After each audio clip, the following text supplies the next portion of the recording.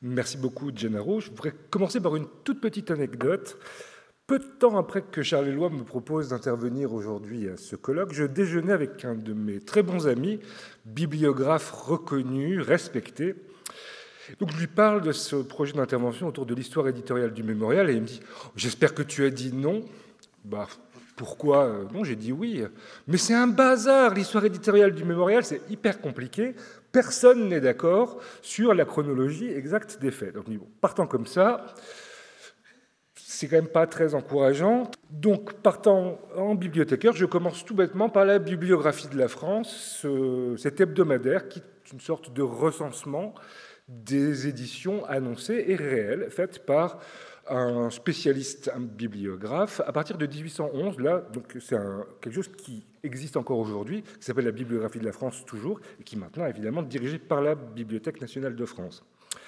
Et donc, dans son numéro du 17 août 1822, la Bibliographie de la France, journal général de l'imprimerie et de la librairie, signale la réception d'un prospectus. Donc, on est deux jours après la, signature de la préface par la SCAS. annonce un prospectus qui annonce officiellement la publication prochaine, dit-on, du mémorial de Sainte-Hélène.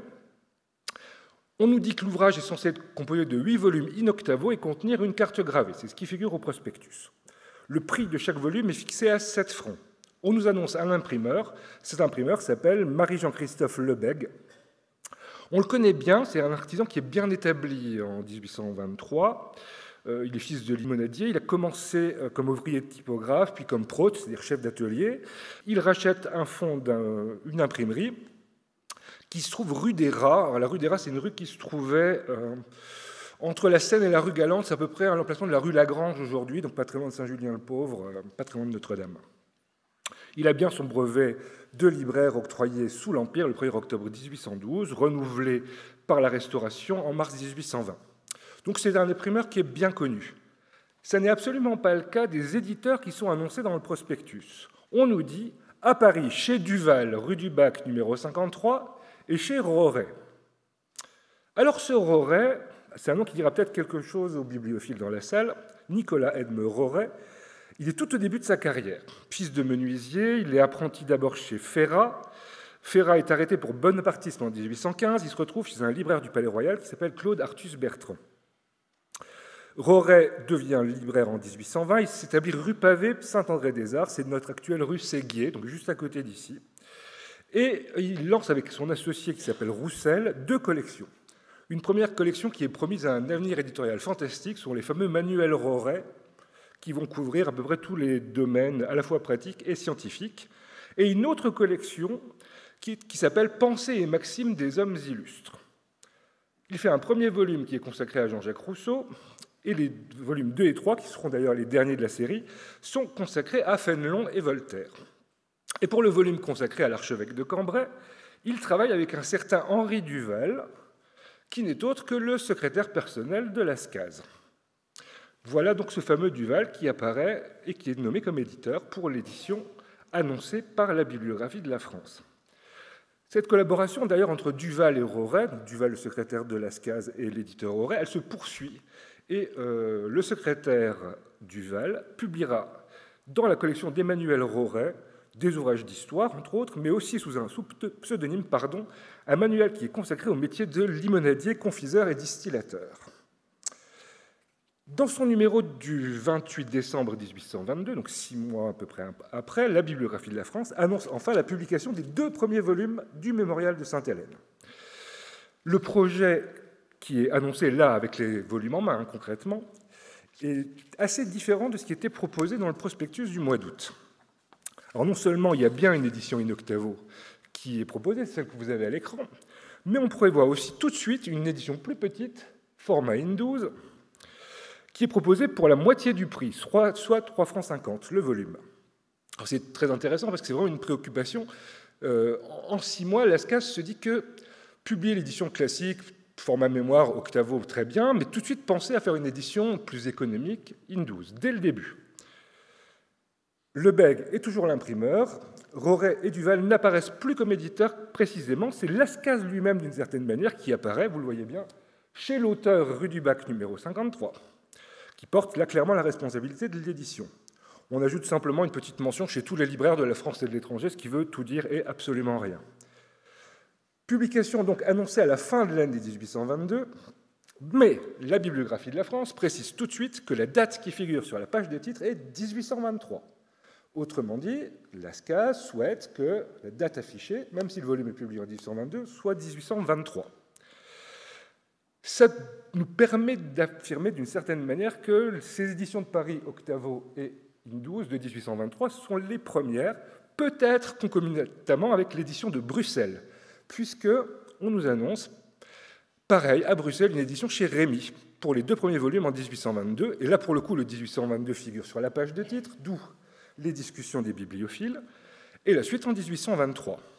Alors ça a fait toute une polémique Polémique qui remonte aux années, aux années 30, puisque un bibliographe belge qui s'appelle Fernand van der Rem, qui publie entre autres le bulletin du bibliophile, annonce que euh, il, a beaucoup de difficultés à savoir quelle est la première édition. Il ne croit pas du tout. Il pense que l'édition de Bruxelles est en fait quelque chose de, de, postérieur et qu'on a antidaté.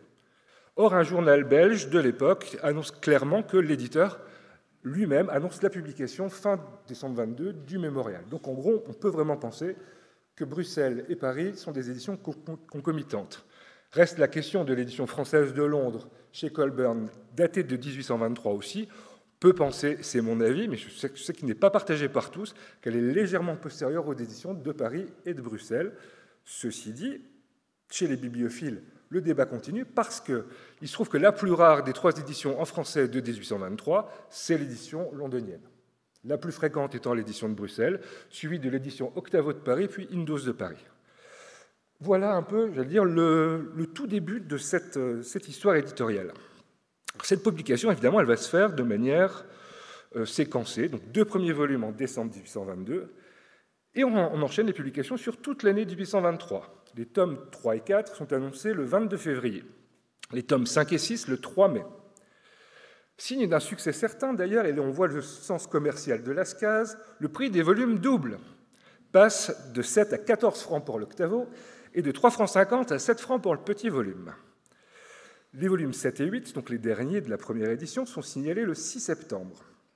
Et le dernier volume, conformément à la promesse du prospectus, contient bien la carte gravée de l'île de Sainte-Hélène. Autre preuve de la grande réussite éditoriale, Lascaz y annonce la vente des quatre vues de Sainte-Hélène, une série d'estampes des paysages de l'île. L'adresse de vente de ces quatre vues est devenue le dépôt du mémorial. La réclame, située juste après la table du huitième volume, en dit beaucoup sur le projet commercial. Voilà ce qu'écrit euh, Lascaz pour faire sa publicité pour les estampes. Il n'y aura que 20 exemplaires sur papier de Chine, auxquels sera jointe la carte de Sainte-Hélène sur même papier. Prix de l'exemplaire 35 francs. 100 exemplaires avant la lettre, Vélin, prix de l'exemplaire 20 francs. Les exemplaires après la lettre, beau papier, prix 10 francs. Après le 1er octobre prochain, les prix seront de 40, 24 et 12 francs. La carte de Sainte-Hélène a été soignée de manière à être encadrée. Elle est remise avec le huitième volume de l'Inoctavo. Elle se vend toute seule 3 francs. Ceux qui ont, acheté, l'ouvrage Indus ne la paieront que 1 franc 50. On voit là déjà tout le, le succès commercial et tout ce que Lascaz met en œuvre pour euh, la diffusion de ce livre. Charles Eloi en a un petit peu parlé, euh, il ne se contente pas de, de ce, cette première édition, il se rend tout de suite compte que huit volumes, effectivement, pour un public peu fortuné, c'est difficile à vendre, et donc il va se lancer dans une autre opération euh, éditoriale, publiée dès 1823, qui est L'Esprit du mémorial de Sainte-Hélène, qui est une sorte de digest du mémorial tel qu'il était en train de le produire. Version abrégée en trois volumes in 12, édité encore une fois au dépôt du mémorial.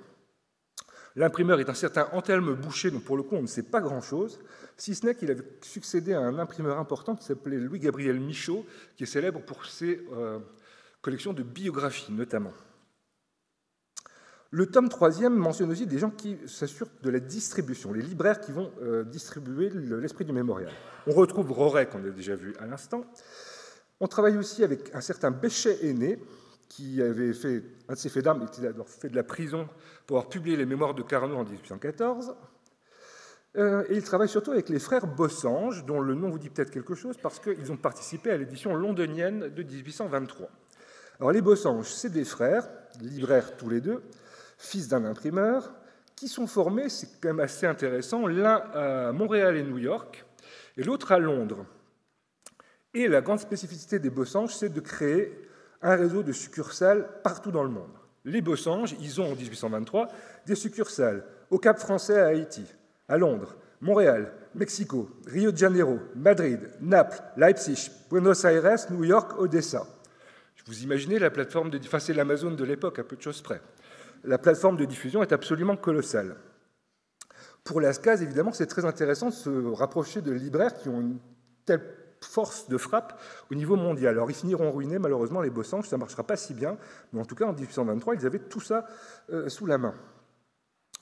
1823, pour finir l'année, euh, en Angleterre, on publie très vite aussi une édition anglaise qui est la traduction euh, de l'édition française publiée à Lange, donc chez, chez Bossange et Colburn, et aussi une autre édition française, j'en finirai avec l'édition française, plus surprenante, à Stockholm, dès 1823, hein, sous les presses de Henri Nordström et de la veuve Lind et d'Eckstein.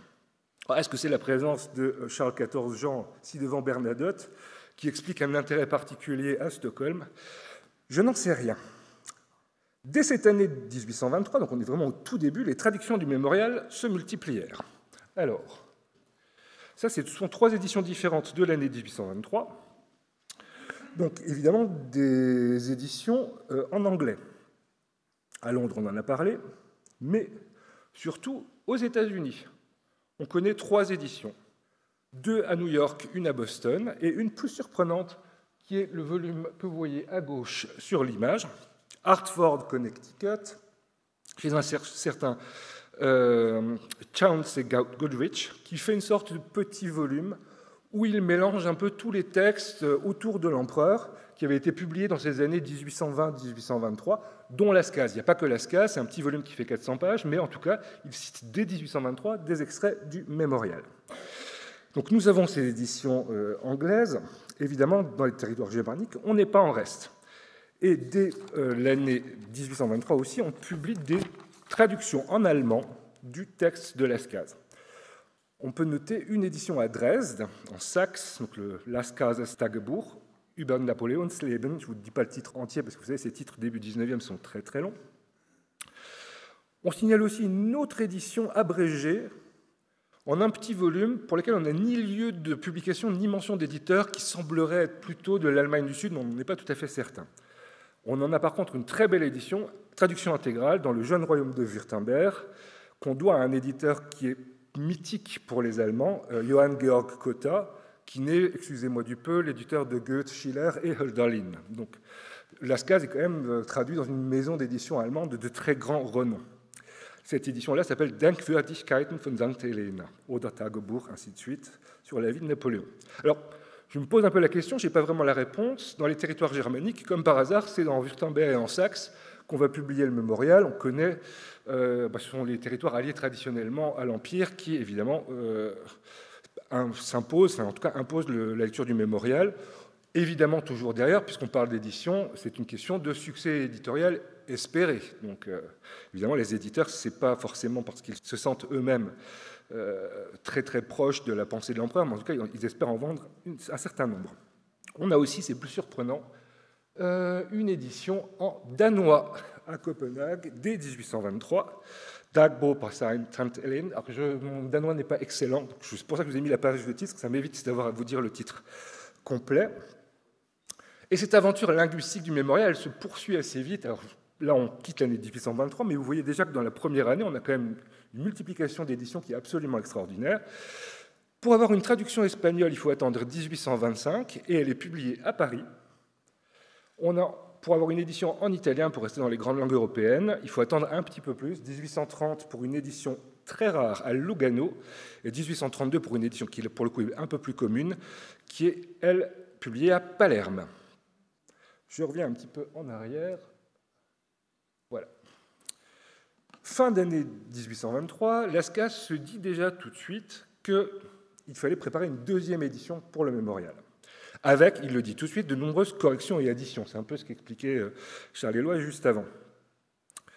Euh, une page de réclame dans le deuxième tome de l'Esprit du mémorial dont je viens de parler donne une précision éclairante. Le dépôt principal, ce fameux dépôt du mémorial, et chez Monsieur Dubal, rue du Bac numéro 53. C'est-à-dire que c'est chez le secrétaire de l'ASCAS que se trouve, j'allais dire, l'entreprise dépôt du mémorial.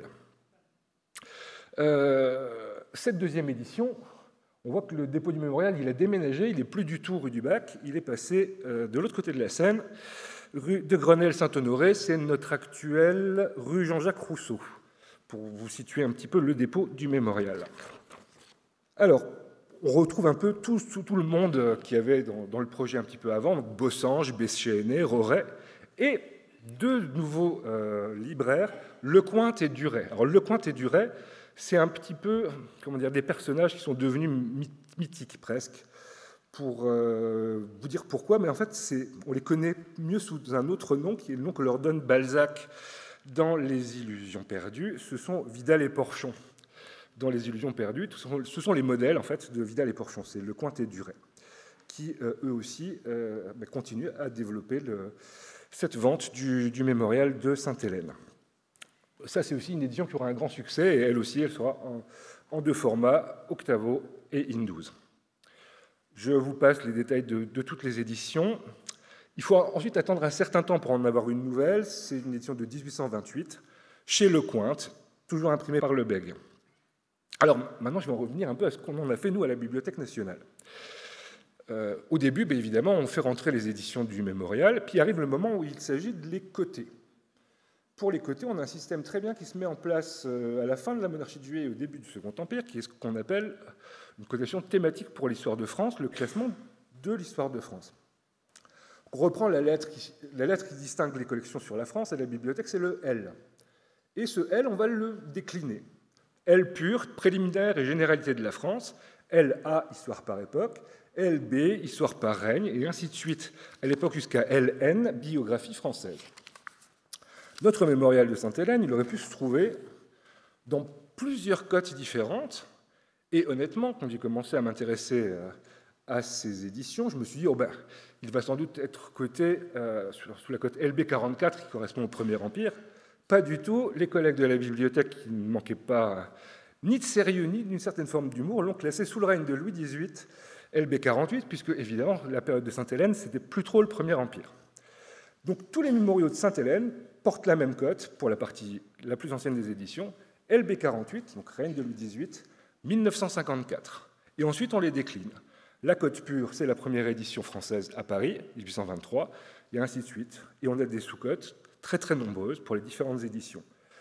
Pour celles qui se font du vivant de Lascaz, on a celle de 1823, les deux de 1824 dont je vous ai parlé, une de 1830-32 en 26 volumes, petit format, qui contiennent aussi le journal d'Oméhara, une édition en deux volumes en 1835, une édition en 5 volumes, enfin 9 volumes reliés en 5 en 1840, une autre édition en deux volumes grand format 1840, et puis la fameuse édition avec les illustrations de Charlet, la dernière du vivant de Lascaz en 1842.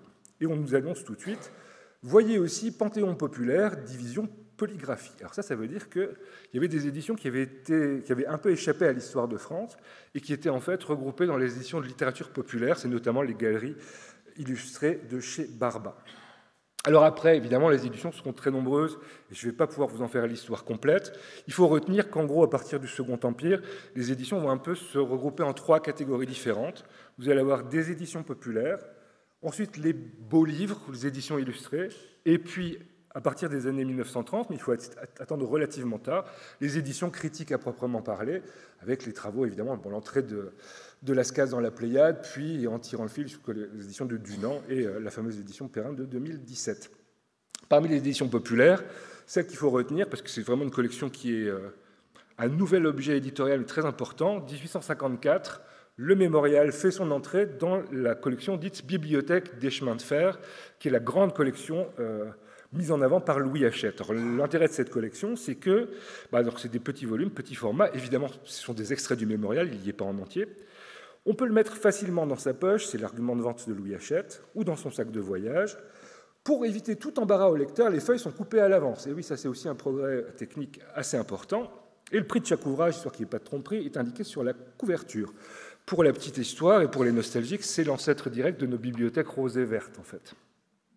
Évidemment, on a aussi des éditions plus, jolies.